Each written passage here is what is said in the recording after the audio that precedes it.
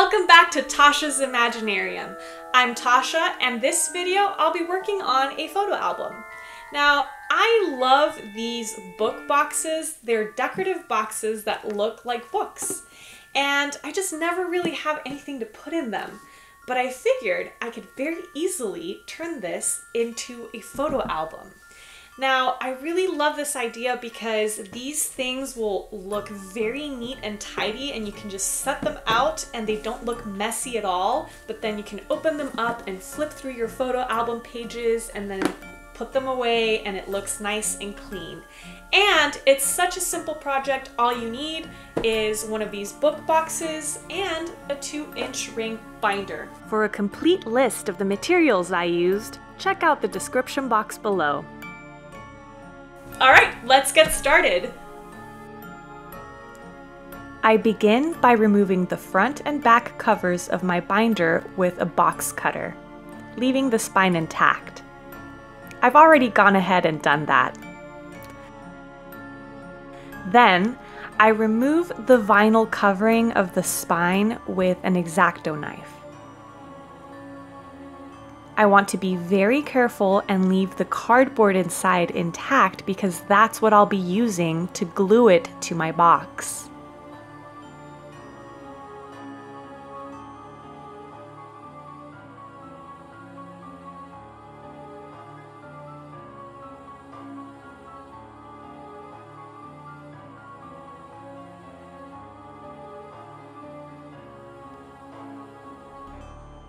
I cover the back part of the spine with a hefty amount of Fabri-Tac glue and I put some rapid fuse adhesive on the edges just to make sure it holds in place while the Fabri-Tac dries.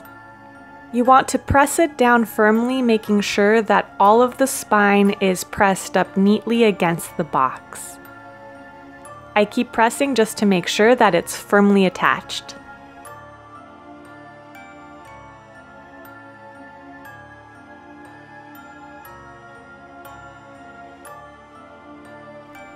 Next, I'm going to match the color of the cardboard of the spine with the color of the box so that it blends neatly and looks really nice.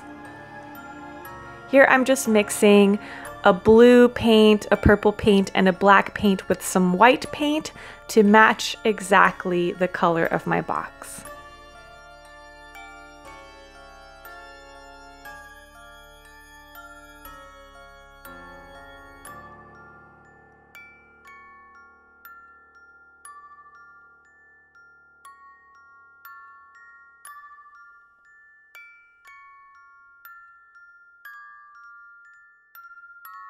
Then I very gently and carefully paint the cardboard of the spine.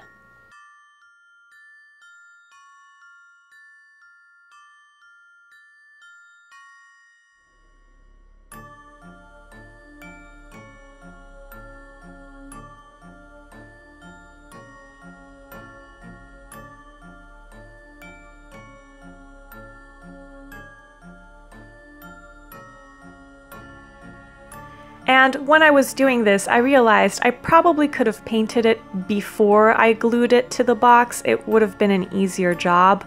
Um, so if you do decide to do that, just make sure you don't paint the bottom part, but only the edges and the top. And that's probably a much smarter thing to do than trying to paint it once it's already glued inside the box, as you can see here. And that looks pretty good to me.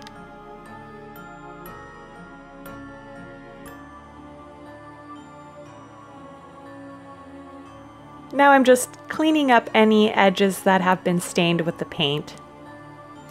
And to make the drying time go faster, I just use a blow dryer to speed up the process. I'm checking to make sure that my paint is completely dry and that my spine is firmly attached to my box before adding my album pages.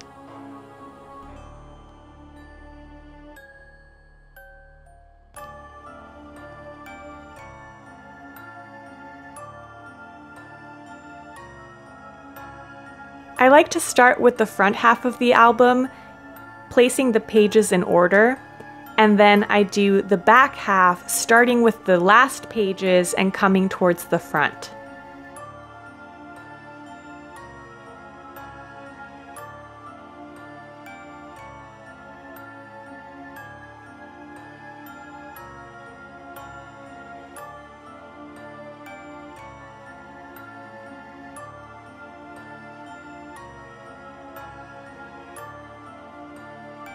The other benefit to having a book box album is that you can store loose mementos as well as your loose negatives without misplacing them.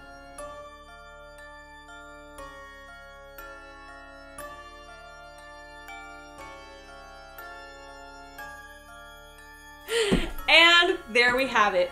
That's it. I have my photo album in a box. Alright, Creative Fiends, if you enjoyed this video, please ding that like button and leave a comment below. And be sure to subscribe to keep watching more creative mischief on Tasha's Imaginarium. Until next time, stay fiendish.